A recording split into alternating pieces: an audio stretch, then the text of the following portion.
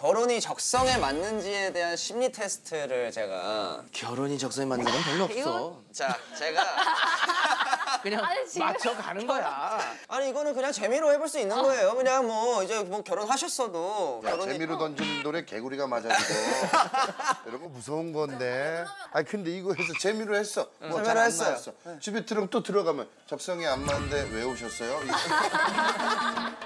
적성에 적성 맞게- 찾아가세요. 어쨌든 망하는 거라니까.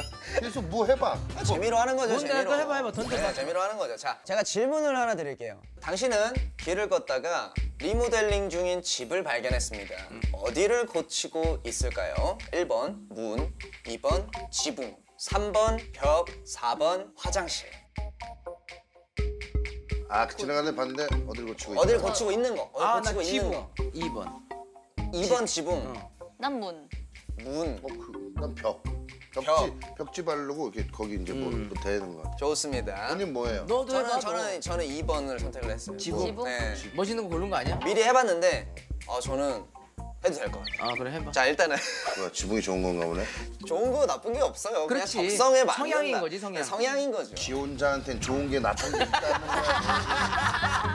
재미로 하는 건데 결혼한 사람은 이런 거 해는 거 아니라고. 일어나. 자, 우리 가정 행복한데 왜 이래? 왜 네가 더 돌을 던져? 아, 이거, 이거, 이거는 그냥 재미로 하는 거죠, 재미로. 어디를 고치고 있을까요? 라는 질문에 문을 선택한 분들 결혼 적성도는 30%입니다. 결혼 후 자유가 줄어들 것을 두려워하고 있다는 아, 뜻입니다. 어, 그런 것 같아요, 약간. 결혼 전에 편안함과 즐거움이 계속될지 어떨지에 따라 성공 여부가 정해질 것입니다. 네. 자, 지붕을 선택한 사람입니다. 지붕. 지붕을 선택한 당시, 당신의 결혼 적성도는 90%입니다. 아, 나 지붕 할 걸. 나. 여보, 여보, 여보 봤지?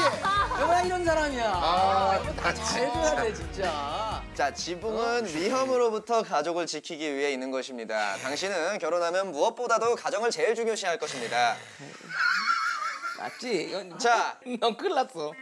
벽 불안한데. 자, 벽은 뭐가 와장창 깨질 것 같은 느낌이 든다. 벽.